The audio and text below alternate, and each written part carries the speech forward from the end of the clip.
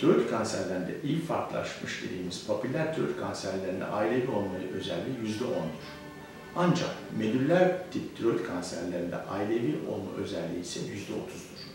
Özellikle medüller tiroid kanserlerinde bir kişide saptandığı zaman ve genetik olarak 10. kromozomda mevcut olan ret onkogende bir bozukluk varsa o takdirde o kişilerin kardeşleri veya çocukları varsa taranmakta ve koruyucu tiroidektomi hastaların medüller tip tiroid kanserleri gelişmesinden korunmaktadır.